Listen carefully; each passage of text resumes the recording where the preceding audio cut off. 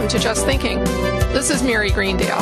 The title of this show grew out of a lifetime of curiosity about many different subjects, some local, some global, and some in between.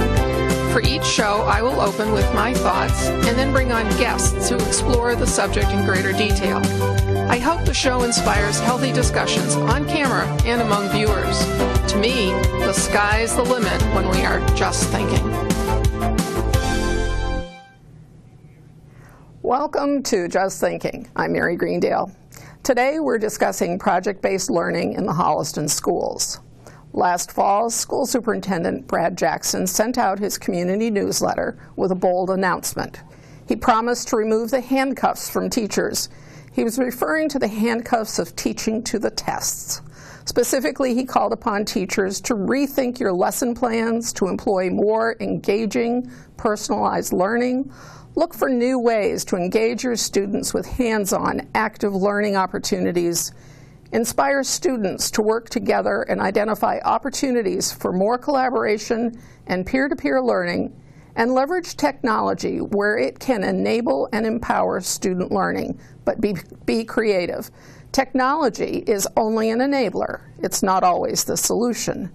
And most importantly, feel free to be creative test, and fail. Failure is the backbone for learning. You have our permission, and we have your back. Educators, parents, and children have endured years of increased testing like MCAS. That has consumed more time and energy, but most of all, at least in the eyes of many, has consumed the passion for learning and deprived students of developing skills they need to succeed. Jackson said he wanted teachers to utilize project-based learning as a platform and proceed to innovate in whatever ways they thought made sense in their classrooms. Project-based learning has been around for 100 years in the world of education. As children, we all learn by doing. So why hasn't project-based learning taken hold, and will this time be any different? I am a huge proponent of alternative educational approaches, perhaps to the extreme, so I love this idea. But I have to wonder, will it catch on this time? Are we ready now? I remember revivals of the project-based learning approach in the 70s and again in the 90s. These revivals followed protests from businesses that students did not have the skills to work as teams, did not have the rudimentary thinking skills to problem solve. If you go back to read the prominent business speakers of the times, they were all spouting this approach inside schools and workplaces.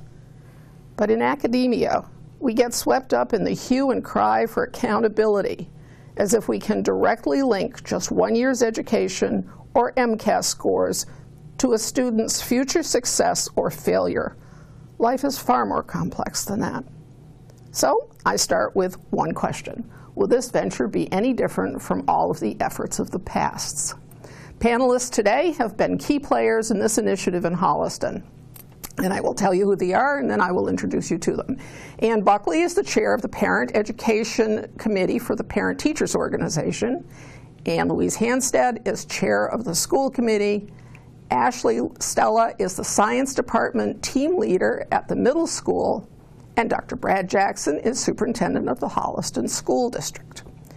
Okay, let's, let's begin uh, to all of you. Welcome.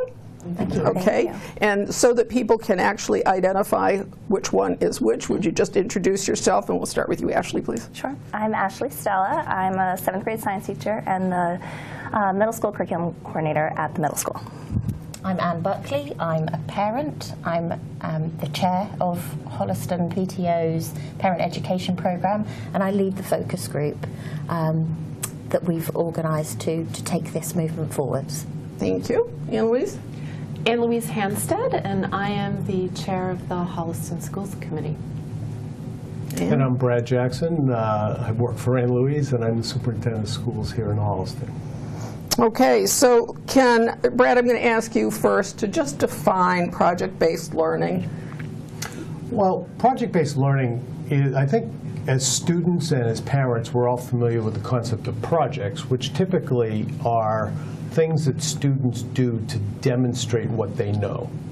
Um, the difference between projects and project-based learning is that ins- as opposed to a project which just demonstrates what a student knows. Project-based learning is a process by which a student learns by doing a project. So they don't just take what they know and put it in, in a, uh, in in a form like a report or a trifold, um, um, trifold uh, piece of uh, material, what they do is they use uh, the project-based learning approach to learn about something and then go about and tell people how they, what they learned. And, and so it's the process of learning that, bring, that integrates with the project.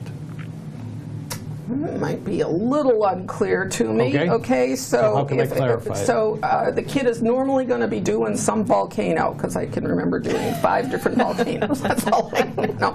Okay, so we were going to do a volcano. That was the project we picked. If, if that were in project-based learning, what would the difference be? So, well, first of all, one of the differences is that we give students a great deal more choice than just everybody does a volcano. Okay. We try to look a little more broadly. In the earth science area, some students may study volcanoes, others may study um, may study rock formations, other may study different types of things, and then they with some direction from their teacher, in many cases, they uh, form groups and um, do the research themselves, as opposed to in a volcano project that I remember doing. We had the information on the volcano presented to us. It was in the textbook or it was in the material that the teacher gave us, and we just had to recreate that material. So it was really no different, and it took a lot of time to make that volcano that looked pretty, but they didn't really learn anything more. But if you connect it, connect the research to the outcome, um, they have a tendency to and connect that to something that they're passionate or interested in learning about, those three things coming together is what project-based learning is. And those three things coming together is what makes learning more empowering, more engaging for students, and they retain the information longer. And I, and I absolutely believe that's true because I know myself. I learn better if I get to see it in multiple ways. Right. So it's look at it, touch it, feel it, think, do, feel, touch, all those different senses. And, and fail. And fail. Oh, I did a lot of that. Well, and I, if I may, pro- project-based learning and problem-based solutions are also multidisciplinary or interdisciplinary. So where the volcano project, everyone's doing a volcano, it's paper mache. Can't remember exactly what's bubbling out at the top, but but but now they might be recording a video about the process of having created that. They might be presenting that to other peers in their grade or other teachers or the community. Mm-hmm. They might be writing about the process in addition to videotaping it, et cetera. So it's intent, and they might be discussing it in uh, history class. They might be learning about um, how the impact of, of vol- the volcanoes in ancient Italy destroyed Pompeii and what really happened there and how that all comes together. Just reached into my back pocket on that that one. one. Wow, yeah, I was impressed. I can't double check you on that one. Mount Vesuvius. So, Right, Mount Susu- So getting, I think, across disciplines is really shaping the story of the Yep. learning in a different And way. you must know this firsthand. Yes, so we just finished in seventh grade. We just finished um, our earth science. We're finishing up our earth science unit. So um, usually in a project-based learning unit or project, students will have some sort of question that they're answering, and that's kind of driving the instruction forward. So um, in a in a project, which is not project-based learning, students would produce the same project. So there's traditional instruction from the teacher, there's labs, there's practice along the way, and then at the end, all students will create a report for National Geographic where they're reporting on the volcanic eruptions in some place in the world. But when you take it, take that same project and flip it to make it project based, um, you're having your students be in charge of where their project goes, and so there's um, any number of possible outcomes of what they could do.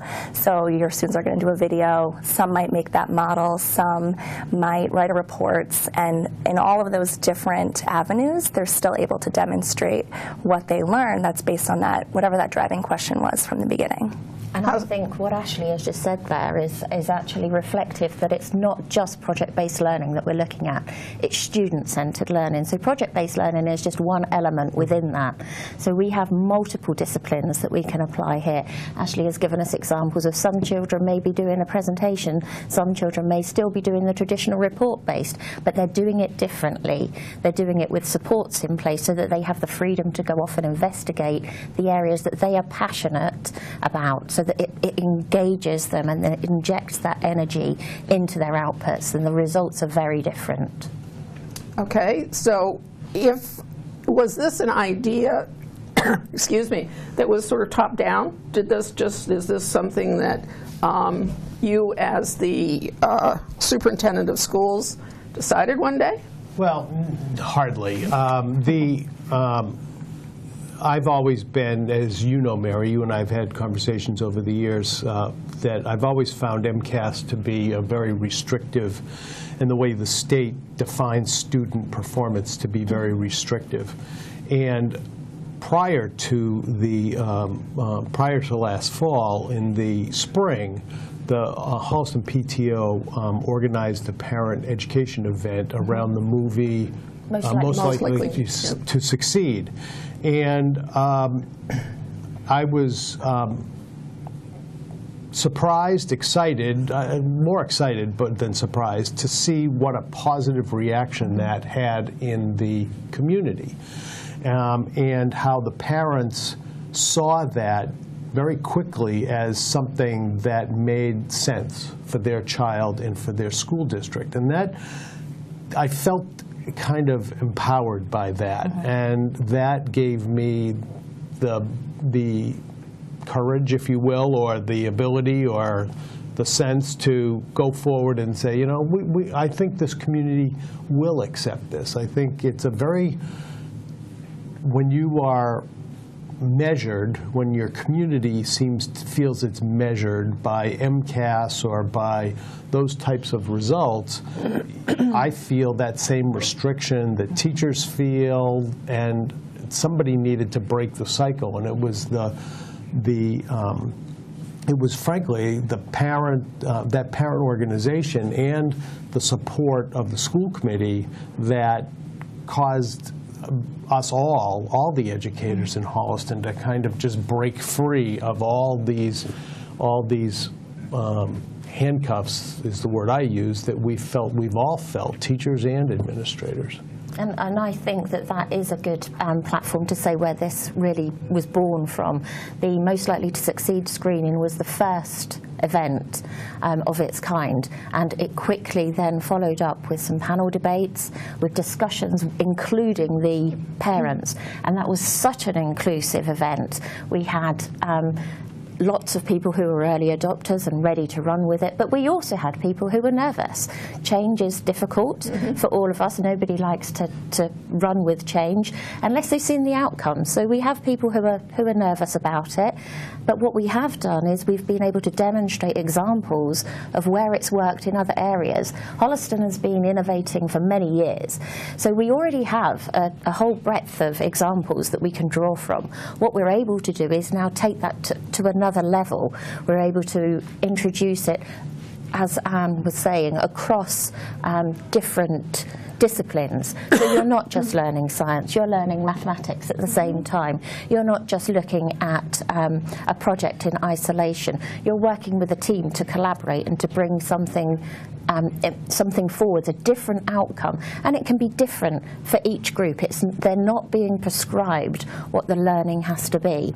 And as those parents are hearing from their children, I mean, I know that my second grade daughter came home and she's in a French class and they had to um, design a, a new playground.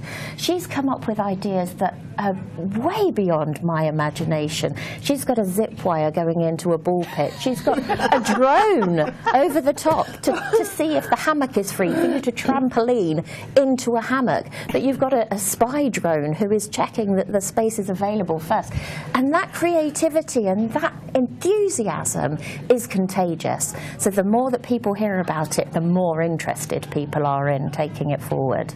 I have to say, I'm not the least bit surprised that the community and parents in general, I mean, there are definitely some concerns out there, and we can address those in a minute, but that they were enthusiastic. Because if you really think about this, the parent of today's second grader, unlike myself, um, it, you know, they're a generation or two younger. And what they're experiencing in the workforce, okay, I'm going to throw myself into this. I go to work and there are no walls. There are tables. And I, I work, in, you know, in an industry that's kind of cutting edge on the technology front and, and it's very digital, but there's no walls.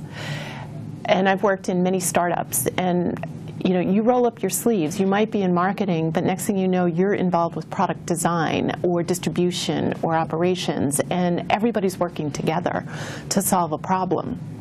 And that's really how it actually works. Even in larger companies now that are trying to adapt to that entrepreneurial project based sort of like let's solve this problem together uh, environment. So today's parents are living that. They're living that every single day and watching their kids and asking how are they going to survive in this? And and the bigger question is when they actually get to the workforce, we don't even know what it's going to look like. How are they going to survive that?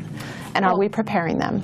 That, that leads me to one of the concerns, and that is not everybody is on a career track that is going to take him or her to college or even to the white-collar job world that you're talking about. How does this translate for those students who ultimately decide to go into a trade or who decide to go into some certification program for, for something like uh, health assistant or whatever?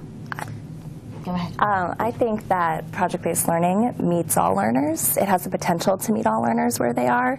Um, you can have students who are struggling in the classroom to um, read, to write, to do um, some things that traditional classrooms rely on for instruction. Um, and then you take a, a project-based learning classroom and it's hands-on. Those students are in the driver's seat. They're in charge of their um, of the direction that their project goes. Um, and even if the student isn't sure at first what their place is because the model for project-based learning is for students to work together. They can kind of figure out what that role is for each group member along the way. Um, at the same time, when you have um, a high flyer, for example, who really excels in the traditional classroom, they can still succeed in project-based learning because they can dive as deep as they want to in project-based learning and they be, can become an expert in whatever it is that their project is about. What about special needs kids? How do you accommodate for the perhaps Well, I severe think- differences? I think it's important that you we acknowledge and recognise that every child has individual learning needs. So each child is going to come to the table with a different skill set, with different passions, with different ideas, and it's important that we address all of those. Um, but taking special needs as a particular group, I spent some time speaking to the CPAC chairperson, Special, Special Education Parent Advisory Council, for those that aren't familiar with that group. Um, and the, the interesting part is that the special needs children do have projects that they work on already, but they are taken from the classrooms to do that, and they work with other children in similar situations.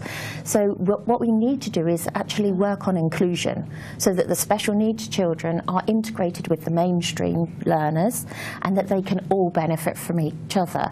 The other um, interesting point is that the behavioural issues that some special needs children may demonstrate in a traditional learning environment are actually reduced dramatically when they're given the opportunity to be flexible. There are multiple entry points for them. They don't have to sit at a desk and have a teacher lecture to them. They're involved, and that that freedom allows them to feel that they can try things just similar to their peers and colleagues in the same classroom. So it's, a, it's a positive. I can see that being the case. No, nobody, I really don't believe many of us like talking heads, you know, people just sitting there talking at you. So I, But, but as Anne mentioned, it's, it's pre- particularly difficult for a student who's challenged by, who finds it challenging to keep their own behavior under control. Oh, for sure. And if you get, if you get them, if you get the ability to move, if you get the ability to have some choice and some voice in what you do, and to put your own uh, perspective into it, and to pick something that interests you, and to be, if, if it's, if, if a student is engaged, no matter what the student's ability, no matter what the student's skill or or, or, or area where they, they still have skills that need developing, this type of work will develop them. And um, everybody needs development, whether, you know, regardless of where they are on the, on the ability, quote unquote, spectrum. The other thing about project-based learning that I think, or any type of student-centered learning, I actually think Anne's point is well taken. We really need to kind of broaden this conversation a little bit more from project-based learning to something that just is student-centered learning allows every student has a skill skills where they are strong and skills that need development. Every student, regardless of their IQ or regardless of how they might perform on an MCAS test, every student has social skills that need developing or, um, or uh, organizational skills that need developing or they need their creativity or their, their ability to collaborate with others um, developed. Those skills, regardless of their intelligence, shall we say, um, need developing. And these working together collaboratively um, on an area where people have things in common helps develop those skills. And that benefits everybody. Ashley, I want to ask you a specific question. I do have a special needs um, student who's now well into high school.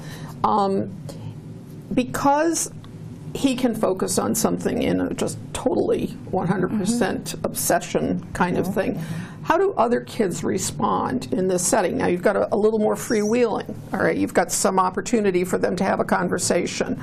How do the other kids respond to him maybe asking something that doesn't seem to fit? What do they do? I think that that's um, one of the one of at least in my classroom, it's one of kind of the purposes of project-based learning is for those students to work on being collaborative with all students. Um, so as teachers, we always set up the classroom in a way that's going to make sure that everyone is um, aware of the requirements or aware of our expectations. And I think you'd be hard pressed to find any teacher that wouldn't have an expectation to um, be inclusive and kind to, to all students. So when you have a, a special needs student with a specific um, learning disability, that's a reason why they are having trouble um, being successful in the classroom. Um, the teacher would first kind of identify what are the things that I could try, and if at first you don't succeed, you try something else. Um, and for the group work piece, I would say it's something that you just have to establish in the classroom, and a lot of teachers do that. Where, you know, our our first rule in the classroom is to be kind to one another, and if your interaction with a student is not kind, then that's not that's not something that's going to be acceptable in our classroom. Um, also, there's going to be different requirements for the different group members. So maybe one student really wants to work on a song. Um, I just had this in my last project. They really wanted to write a song, and this song um, was going to going to explain how um, plate tectonics. Occurs in California, what's happening there. And this song, they worked so hard on this song for, for weeks, and they were so excited to perform this song. And everyone in the classroom applauded furiously at the end of their performance, and it, th- those students were excited to perform. Um, I had other students who did a video, super nervous to have their video playing in front of the classroom where they were. Um, hiding behind their desk because they didn't want to see themselves their voice on the projector. We know how they feel. Um, yes, We went through Right that already. um, but when they when they hear that um, acceptance from their peers, um, it it gives them that power to to feel accomplished and to feel like I I did something here and it's it's going to be part of their lasting learning experiences. Um, so it's not just like that end outcome that they'll remember. They're going to remember all of the hard work along the way. They're going to remember that feeling at the end of the project, that, that accomplishing feeling of um, acceptance from their peers. I find it so interesting to think that some student or group of students wanted to translate into music. I mean, that's not how my head works at all. But to think that somebody in seventh grade would be, be thinking that way, that, oh, this, this is a song. Tectonics is a song. And to, to just go back to your original question there, Mary, about um, how how would that um, very kind of like straightforward thinking student fit in? The thing that we need to kind of look at in the bigger scope of things is that the information available to our students students is ubiquitous. Mm. It's available anywhere. Mm. Anybody can get access to that mm-hmm. information. They just have to click the button. What they don't know is how to interact with each other, how to collaborate, how to communicate, how to problem solve, and to mm-hmm. think critically and creatively, so that they can turn that that task into producing a song to then have the confidence to perform to a group. So what we're doing is we are equipping the students with the other socialization skills that they really need to survive in the real world. It's not just how to pass a test and how to get uh, get a good grade on your college application. It's how do you actually operate around other people? How do you how do you react within a team? How can you then apply that so that when you're out in a working environment, most people don't work independently. They have to work with people with a different skill set to them, and sometimes it's challenging. Mm-hmm. And at least we're preparing them for those those adventures that they're going to have in their future lives. And I think to your question earlier, the example I gave happened to be one that is happening inside the walls of an office, but I think it's precisely the point of this more innovative approach to um, teaching that allows all children to graduate prepared for the world regardless of that path. If that path is taking them to the trades or a gap year or to college or something else, we're teaching them skills they need to succeed in life, not just to do well in college. Even in personal relationships, as I'm listening to you. Well, I think that is life. That's Yeah. that's exactly what it is. That's- is. Because when you sit down and hire someone, really you want to know if you're going to be able to work with that person.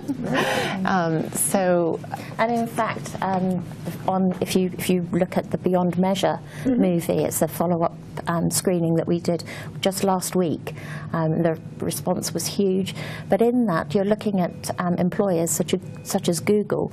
Their senior vice president of operation people operations says that the, the people with the highest test scores are not necessarily the smartest people. They don't even look at college grades. They don't look at GPAs. They don't want to know which college you went to. They want to know if you're a team player. They want to know if you're a good person to have on their team who can make ideas come forward and can share those with people. So even even in the workplace, the the the MCAS is kind of getting diluted. It's not just a number that people are interested in. It can't be because the information is everywhere.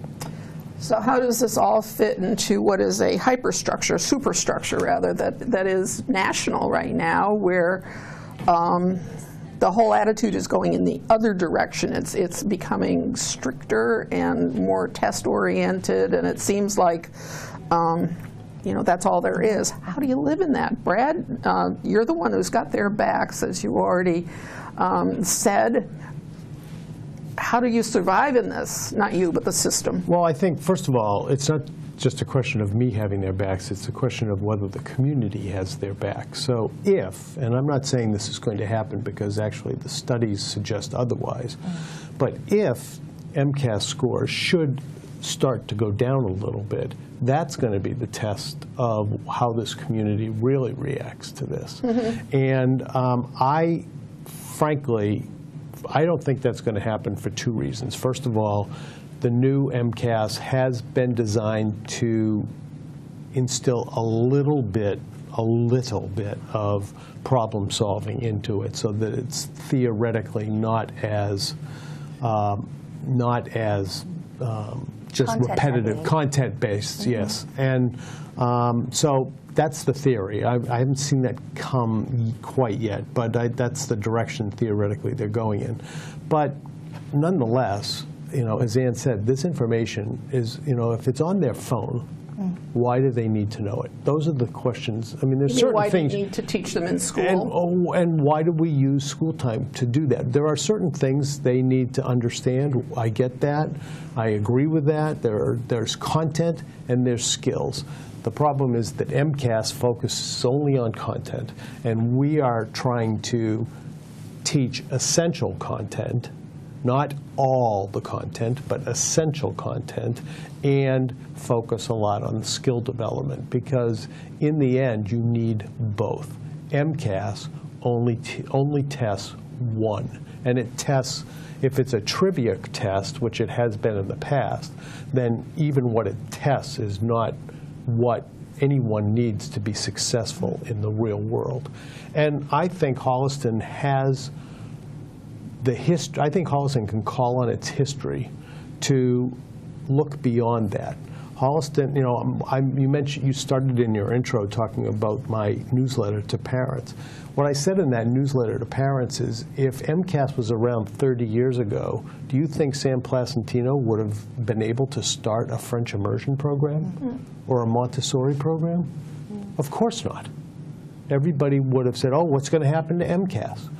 And, um, and the, the opposition would have been, would have been very high. This community, however, part of its value system is, and part of the pride it takes in its local public schools is the choice that we give parents, whether they want to go into Montessori, French immersion, or our traditional programs. And they, this community has an inordinate amount of pride about that about those offerings and the kind of the innovation that that represents. And I think, I think that's why people moved to Holliston. I think that's why parents reacted so incredibly positively to the screening of those movies. And even if, even if test scores take a what's called an implementation dip, which is a temporary dip before they re, re uh, emerge at the same or higher levels. I think Holliston will have the patience to endure that. And frankly, it's my job to, if I have to, with the school committee behind me and parents um, like Anne and the PTO focus group behind me, I, I think that Holliston will endure that implementation dip. I just want to add to this that I'm less concerned about what we're trying to do inside these walls here and inside the district. Um, but you brought up an interesting point. How do you buck a national trend?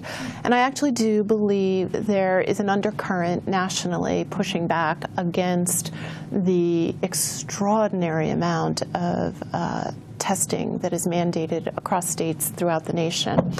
Um, Last spring, the entire school committee went up to the State House and met with the Board of Education on this very topic. I don't even know if we ever shared that with you, but um, we sat down with the deputy commissioner at the time and expressed our concern that testing was beginning to choke the innovation out of education.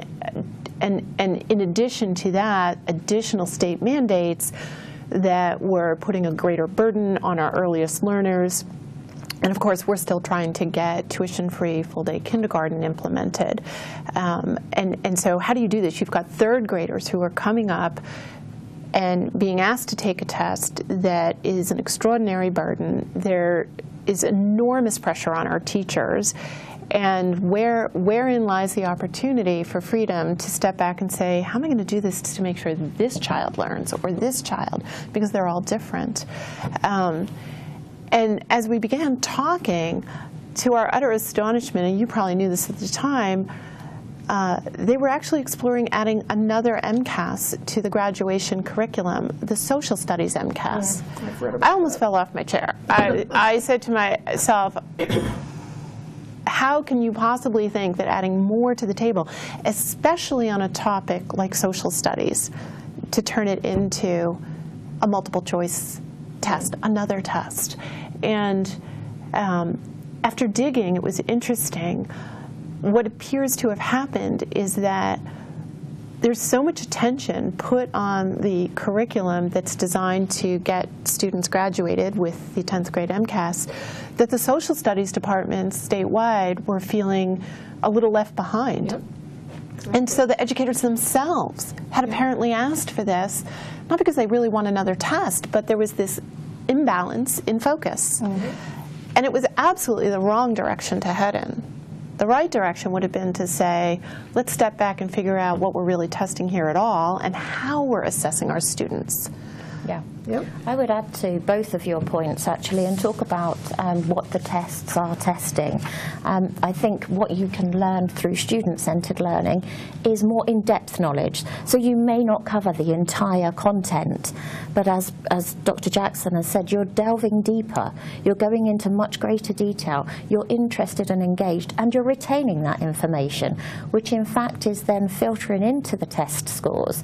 So if you take High Tech High for an example, which is the pioneer flagship um, school which has started this in San Diego, their MCAS scores and their test scores actually increased by 10%. Um, and then to look at the retention levels and how that actually translates into the real world. In Lawrenceville Academy, um, a very prestigious boarding school in the US, they asked their seventh grade science students to retake their finals three months after they'd completed it and the average grade dropped from a B plus to an F. So within three months, not a single student had retained the information they'd spent two years studying. Now that doesn't point to us needing more content. That points to us needing a different style of learning so that children can engage in it and retain that information and then apply it to everyday situations. When you I talk want to about circle, I I don't mean to interrupt, but I want all to right. circle back to one of the premises of your questions, which was this nationwide trend. And I get the sense that Massachusetts is actually poised to, to maybe buck that trend a little broader. So, for example, there is a, um, a um, Senate bill that's being debated, uh, that was debated last week, um, sponsored by uh, Senator Sonia Chang Diaz, who's the um, co-chair, of the Senate co-chair of the Education um, Committee, and it's about um, civics.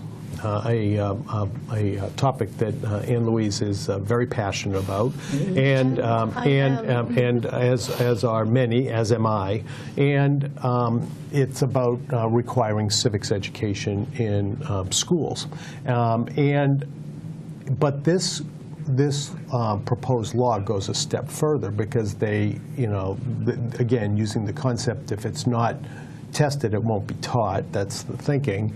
Um, they uh, were arguing back and forth or discussing about MCAS and how do we measure that. And they actually, in the law, in the proposed law um, that's um, about to pass the Senate, we think, this week, um, they have put essentially a project outcome as a indicator of um, completion of the of the course as opposed to MCAS. So they are actually writing the, the draft of the law is that instead of taking an MCAS, they'll have to com- participate in some sort of civic project um, that can be defined by the students, by the school, et cetera, around certain parameters, which make sense. That, to me, is essentially, if that Blowing happens, up. that's, that is, that is admitting Yep. that there are other ways to determine competency. Yep. And that is what we're talking about, competency in terms of content. And um, if that passes, to me, that is a watershed moment in Massachusetts where they finally may start to think of ways to determine competency other than passing a test that requires you to fill in bubbles on a, on a Scantron sheet. So I do think that there is, um, that there's hope. Um, I think Holliston is helping to push the state forward, um, and I think that um, if the number of Twitter followers I have in Massachusetts is any indication, there's a lot of interest um, in what's happening here uh, because my Twitter followers are, and because I use basically use Twitter to to share out examples of what's going on in Holliston. Um, my Twitter followers are, are, I'm seeing 20, 30 new followers a week, and that's because people are, are interested in what we're doing here. And I think that, so I think that the, the trend is I think there's an opportunity to, to, for the state to buck the trend and the, for the state to acknowledge that there are other ways to determine competency. I certainly hope so, because I, I do view that as being a, a modest but still a blowing up of the current thinking to be able to absolutely shift to an entirely different As model. When you talk about social studies, all I can think of is, oh, goody, they'll learn that the Battle of Hastings was in 1088, 1088, you know? That's all I can ever remember when somebody talks to me about history and learning and that kind of stuff, that I had to learn the Battle of Hastings. Whatever has it ever, You know- ever proved to me. You know what's Learn- you brilliant know? about that discipline? It's actually not called history. It's called social studies. And underneath that heading at the high school level is psychology, hmm. economics, and history. And I think if we really thought about that for a moment, it is the ultimate example of an interdisciplinary discipline, if you mm-hmm. will. Mm-hmm. And it's often taught that way, actually. So, I, but there's so much more that we could do with it. Mm. And introducing civics, I'd like to see it as a graduation requirement, but go with God. Whatever you can get done at the state level, Right. fantastic. Exactly. There was a great example of social studies from the fifth grade um, teacher at the Beyond Measure event last week, where she introduced some of her students who created a new Netflix program for, um, called Treasure Hunters. So those children had to learn about the entire culture, the history, the, the people, everything about a particular region to be able to run this competition as a TV program. And they, the, the students loved it. I it was great, um, a great engaging assignment for them to do. Yeah, that's great. Now, do you find broad success or not success, appreciation of this among the teachers? Are most teachers engaged in this, or is this something that, I mean, I, So I think that everyone is on their own path. Um, Brad had mentioned before that project-based learning is um, it's a process and it's, a, it's an experience for students. It's not um, uh, something that can just be done like that. Um, there are a lot of teachers um, who have been doing project-based learning experiences in their classrooms for, for years, and I think um, what you might know as parents is that maybe those experiences are the ones that your children hold on to. Um, I personally have found that when students come back and visit from the high school, they always ask about one project that we did at the at the end of the year, an engineering design project to build earthquake-proof structures, and it was the experience that they held on to.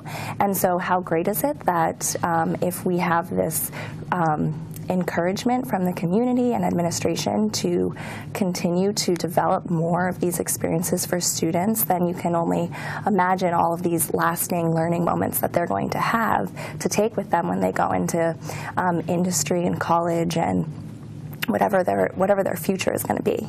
Um, I think interdisciplinary has come up quite a bit, and um, I think that there are great examples of.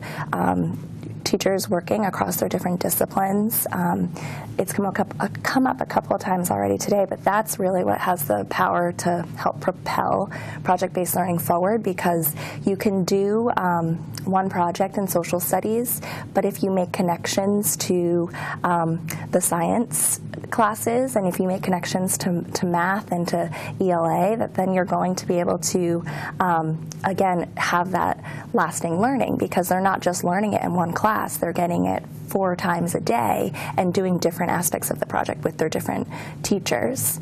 Um, how does this influence your professional development curriculum? Oh, my goodness, it, it, it completely throws it um, up in the air and um, requires us to, to look at it in a whole different way. The best type of professional development is professionals learning from one another. Um, so these examples, we had our uh, professional development day in January where we had um, all these, these opportunities for teachers to sign up to meet with other teachers who had had some success or who had some failures um, to learn from them. And uh, so it's, uh, you know, I think it's important to uh, give teachers the opportunity to learn from one another, to learn from each other's mistakes. It also takes it's, and some people are moving along this curve a little faster than others. This decade in education, if you look back on it, has been extraordinary. Back, it's 2018, in 2010, we still had, we didn't have a student with a, com- didn't have their own, no, none of our students had their own computer that they brought to school with Oh, them. true. Now, we've got um, Chromebooks in grades 6 through 10, um, moving to 6 to 12. We've got all this technology. Technology has completely changed the way teachers have to have to look at their craft. And now, by this this new approach and a more innovative approach to instruction, is also requiring teachers to to uh, to to ask questions and to really throw out some assumptions that may have been with them since they were students themselves in K to 12 schools. So teachers are excited and exhausted both at the same time. And so good quality professional development that allows teachers to understand the risks they're taking, recognize that perfection isn't required the first time, and that failure is an option. That's a, that's a um, concept we want to instill in children. That's a concept we want to support in our teachers as well, that failure is an option. Ashley can put together a unit and it can bomb. And as long as she learns from it and adapts and adopts her curriculum to, to take into account what she learned from that process, then that's, that's a positive experience. And that's positive for students, it's positive for teachers as well. And so professional development is the key to that, to learn so that others can learn from the mistakes of their colleagues. That's an area, though, that now um, makes me think about administrators and super, I mean, uh, principals and vice principals and all that kind of stuff. There's a lot of tension in our community at times, and certainly in other communities, when a budget looks like it's just overloaded with administration. And yet, if you don't have principals and other people within their, each of these schools working with the teachers in helping to take that professional development program and make sure that it's working on a day-to-day basis so that when Ashley or some other teacher does have that failure, that the principal can be sure that she's getting out of it the learning lessons that she's supposed to get out of it and make the changes that she should. So are we in a place right now where we have sufficient administration in each of the schools to be able to do this and follow through on the professional development you provide? Well, I, first of all, I, um, I have always subscribed to the notion that every, we should invest as many dollars as we can in the classroom. And, um, but there are certain, we, we do have to keep our, we do have to have systems in place. We have to keep our schools safe. We have to keep them running. We have to deal with student discipline. We have to, all that type of overhead. Um, we have run very lean for a lot of years. Just recently, I am so grateful to the school committee and the community that we finally, after eight years of trying, have been able to, was able this year to reinstate the position of Director of, of Technology and Digital Learning. Mm-hmm. And that has had tremendous impact on all of us in, in all of the administration who can let the who can focus allow that person to focus on the the digital learning part of the work so that we can support teachers. Um, and that um, that is actually the only administrative that actually brings us back up to the level of administration we had here 14 years ago when I started. And So- even, even then, I, I do want to point out, we have one of the leanest administration budgets per pupil for a district this size in the state. Um, and I think, I think what we have been able to do with that is actually fairly extraordinary. But I think your point earlier in talking about professional development, putting as much of our budget as we can afford to into the classroom, into professional development, and empowering and enabling the teachers to also have a voice in their development and education is huge. In fact, one of the um, key points in our recent agreement with the HFT was This would be the teachers' union? Yes, forgive me. Um, we agreed to collaborate with them in establishing a professional development council. So previously, professional development, while we solicited input from the teachers, was largely um, guided by um, central office in trying, you know, and, and, there are reasons for that because there are a number of things we have to do because the state says so, right? So we have to make sure, you know, we're putting development in place to um, adhere to that. But when you're making this kind of a transformation in the pedagogy of the district and trying to understand exactly how we're going to do this bottoms up, it needs to come bottoms up up. Mm-hmm. So giving the professionals a voice in their own education and development goes a long way toward ensuring that we're supporting them in what they really need to be successful. Okay, we have about eight minutes to go before we're out of time, and I want to make sure that each of you has gotten across whatever major point you wanted to do. So let's take a break here right now. Anne, are you comfortable? I want to make yes, sure because I, I, think yes. as, as the I, I, think that the um, the key point here is that the information is available everywhere, um, and that we do need to give our, our children, our students, that opportunity to reach their full potential, whatever that may be. We're very fortunate in Holliston in that we do um, get our high school students in. They, they get into great colleges. They get places in the colleges that they want to. That isn't our issue. What our issue is kind of taking a step back from that and deciding what cost that comes at. How many honours classes, how many advanced placement classes do they need to take to feel that they are ready to do that?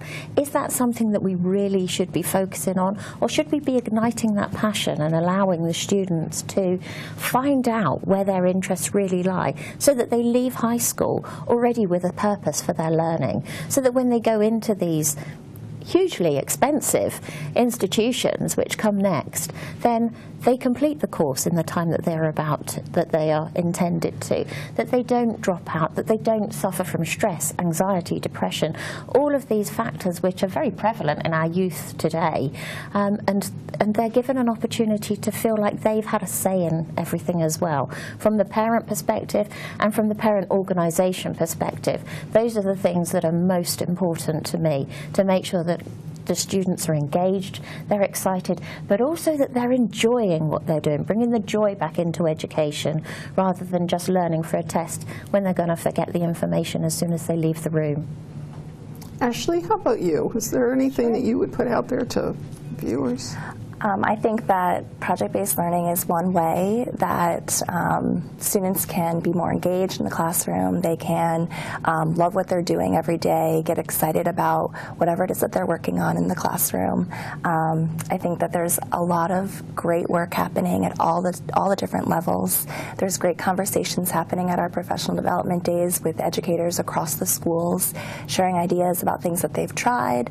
Um, the Tiny House Project, I know that there's going to be an HCAT um, filming of uh, what that project is at the high school coming up, and in the middle school, they're also doing scale drawings of um, and building these scale models of tiny houses. There's all this like vertical alignment of of great things happening. Um, I think that uh, you know you could you could highlight all of those different things, and there's so many um, things that have been happening for many years, and I just think that it's it's really um, great to think about how many more projects we'll be able to um, see in the classrooms. Um, hopefully, more interdisciplinary projects um, with the support of you know continued professional development. That's going to help teachers who aren't quite ready yet to give it a try because of whatever reason is holding them back. Mm-hmm. That if you know they can get that support, and they'll definitely be able to kind of give it a try or to you know work with another teacher on it. And and I just think that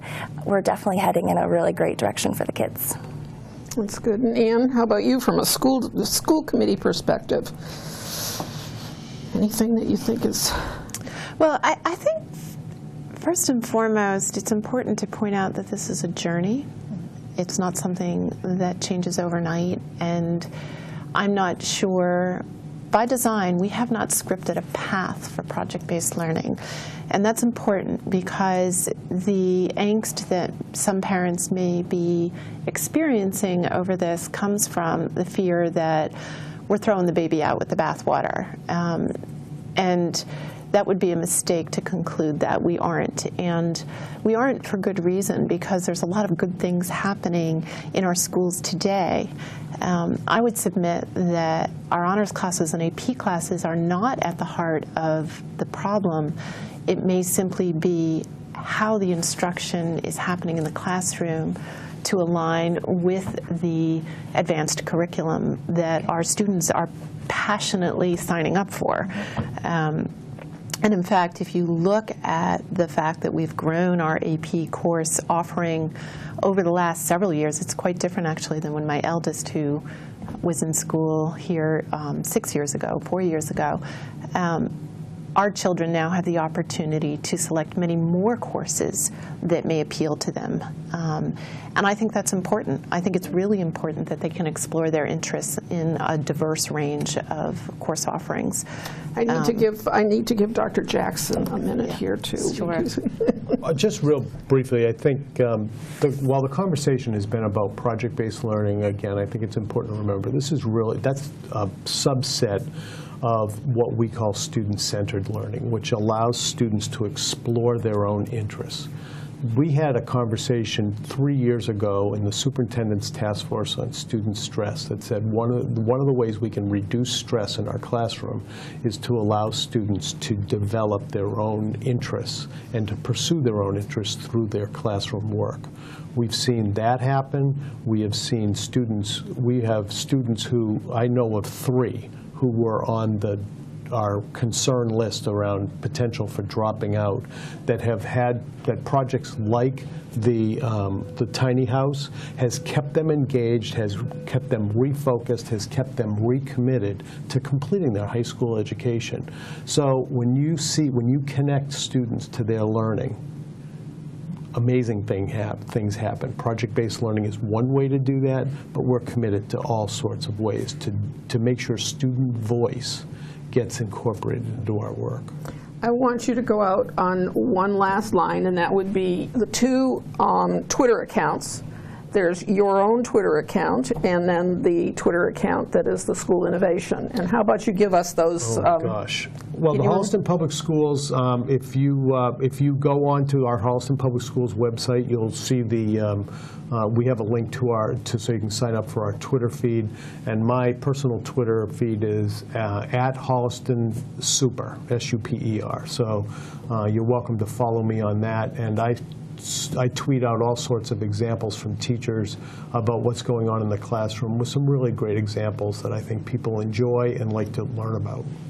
Using the hashtag Holliston Innovates. Yes, and I also, thank you, you're right, I also use the hashtag Holliston Innovates to tag a lot of these um, as ways for people to search for all those. So if you go in and you want to search that hashtag in Twitter, and if parents, you don't know what I'm talking about about Twitter, we are going to figure out a way to give a parent education night on, on, on how to use But there, there is also a um, Holliston Innovates Facebook page, so a lot of the um, parent community uses the Facebook page so they can access it So that way. Facebook, Twitter, now HCAT. Now HCAT. I'm telling you, we will have this all over. The over. information is there.